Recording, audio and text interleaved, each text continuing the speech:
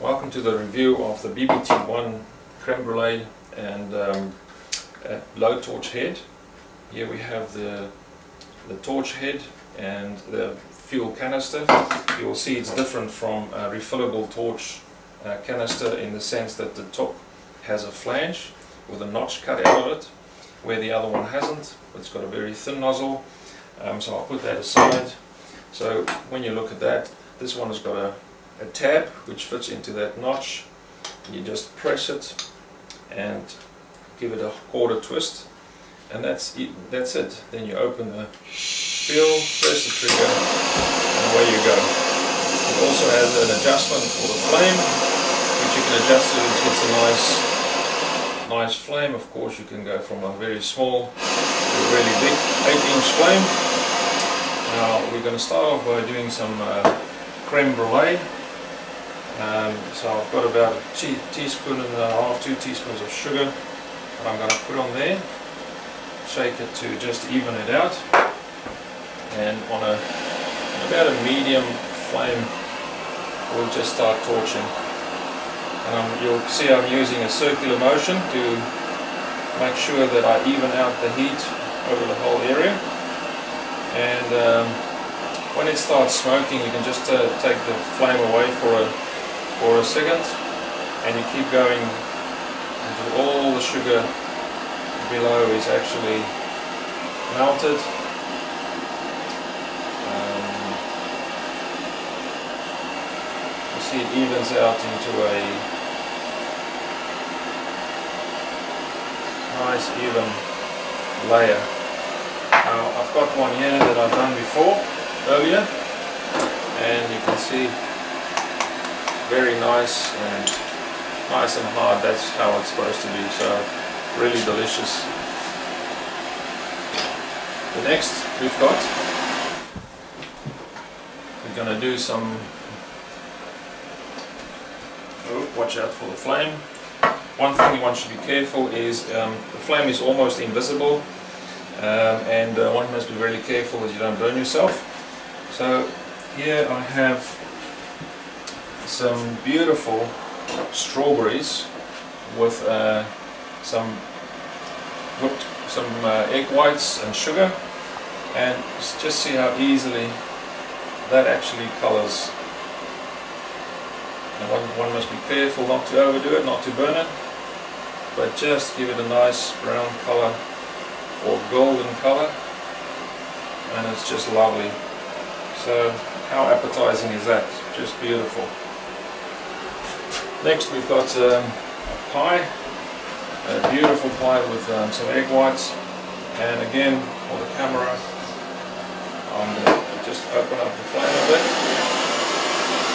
And just touch it with the tip of the flame, just really careful not to overdo it. And just look at that, just gorgeous. Um, now I'm going to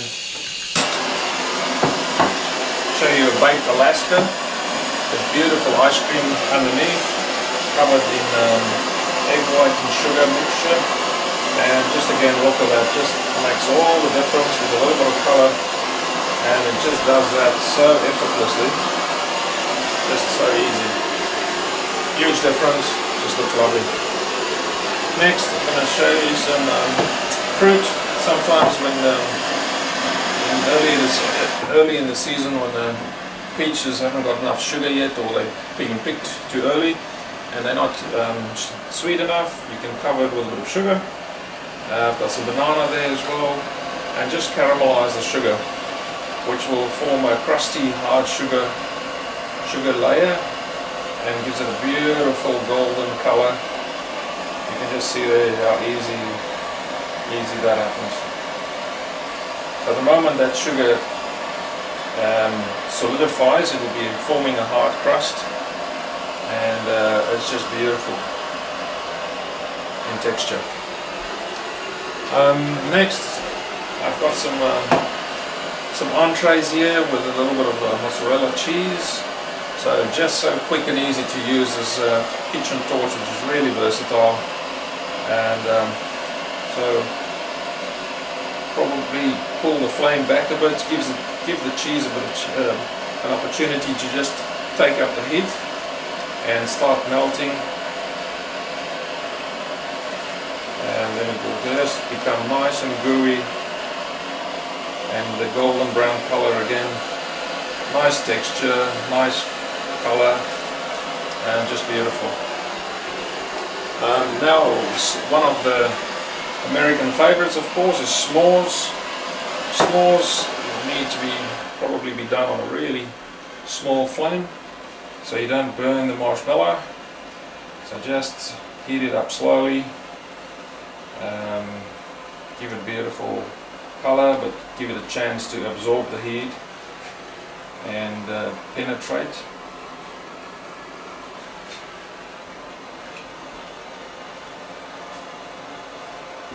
So until it becomes nice and gooey and you just flatten it all out and beautiful small ready to eat. Next uh, I've got a really lovely hot cocoa or hot chocolate and um, just top it off with beautiful marshmallows again heating it up making it nice and uh, gooey and just full of deliciousness just give it that extra bit of um, texture and flavor and color. This uh, BBT1 has got a really high heating capacity which is ideal for roasting peppers. So I'm just going to turn it quite up quite a bit and it will just see how effortlessly it will uh, burn the skin or char the skin so that you can uh, just pull it off so very very easy to do see how the skin just pops up and so uh, when it cools down a bit you can just pull it off and you can use uh, pepper in um, making palm trays and different things. So just easy, effortlessly. Uh, next up we've got some eggplants. This is an eggplant that I've done before. Again on high heat. Um, basically keep it in one spot until it completely blackens um, and you'll see that it actually will start looking like an ember, glow like an ember and so you just continue on and on until the whole um, eggplant, eggplant is covered. You see that, that section there is done now and it will actually glow like an ember if you, if you look at it closely. So that's what I've done with that one. Basically went around and around.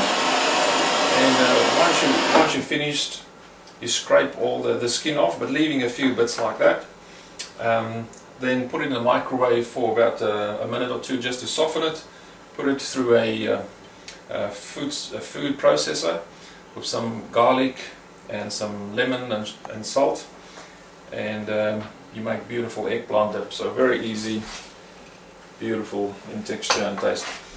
Um, next up we've got some, you want to skin a tomato, really easy, you can just see how the skin basically just pops um, very quickly to to take the skin off the tomato. Just listen to the popping there and it's really as quick and as easy as that. And that's all you need to do. Now you can see with this one, uh, which I've done before, and and the skin just peels off very easy. So very quick to do. Next I'm going to show you a how to do a beautiful roast chicken.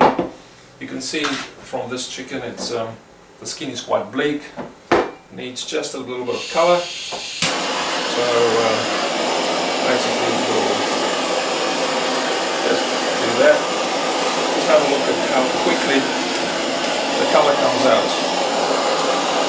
In just a few seconds, it's a whole different chicken. Looks appetizing, looks amazing, and uh, of course, when the crispy skin, it will also taste fantastic. So easy as that. Next up, we've got a um, pork roast.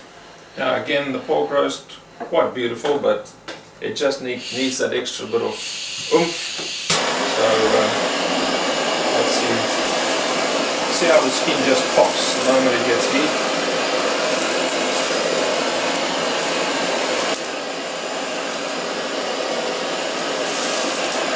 Look at that.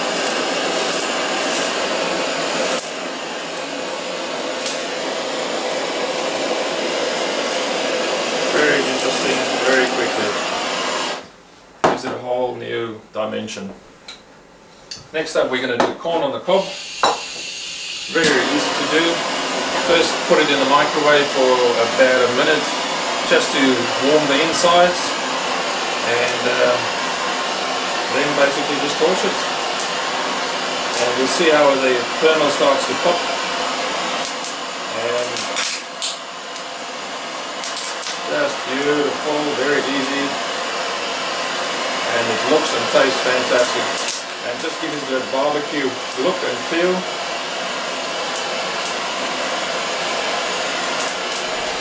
And then once you're finished with that, you can smear it with a bit of extra butter, put some chicken or chili salt on it, and it's just delicious. Uh, next up, we're going to show you some other um, things to do. Um, non-food things like um, some soldering. Now this is quite easily.